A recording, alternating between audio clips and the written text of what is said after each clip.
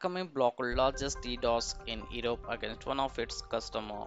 Akamai notes that record-breaking attack occurred on July 21st and it's in 14 hours peaked at 853.7 gigabytes per second and 659.6 million packets per second. However, company did not disclose any details about its customers, but that said it was able to mitigate the attack, targeted several IP addresses, and that its client was targeted 75 DDoS incidents over past 30 days. User datagram protocol flood was the most popular vector.